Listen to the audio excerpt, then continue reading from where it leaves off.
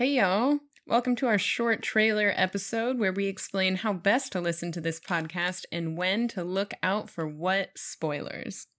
We are Amy and Mel, two queer friends who get together fairly regularly to reread and talk about our favorite books, the Locked Tomb series. This podcast started out and continues to be a passion project and a way for us to hang out and make each other laugh.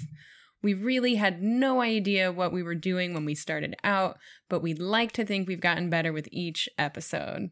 There are a few things that we want to make sure you know regarding the timing of our reread and the spoilers. First off, we started recording the Gideon the Ninth reread in March 2022. The Gideon the Ninth reread is shared through the lens of having already read Harrow the Ninth, which means that we spoil the shit out of Gideon the Ninth and Harrow the Ninth from the very beginning. So if you haven't read Harrow the Ninth, you probably want to hold off on listening to the reread until you have finished. And second, because we recorded all of Gideon the Ninth before September 2022, the reread is shared through the lens of not having read Nona. In fact, this remains the case into our Harrow the Ninth reread, all the way up through our 15th episode, Harrow the Ninth, chapters 26 to 31.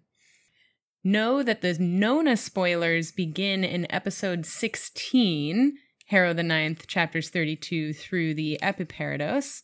By this episode's recording, Tor had released the first six chapters of Nona the Ninth for all of us to obsess over, which we did.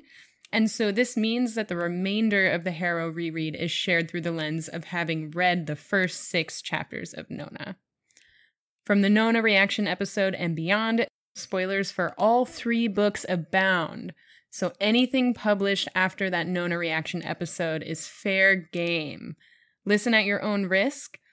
Alecto the Ninth comes out in September 2023, and there are therefore no spoilers for the final book of the series throughout the rereads of the first three books.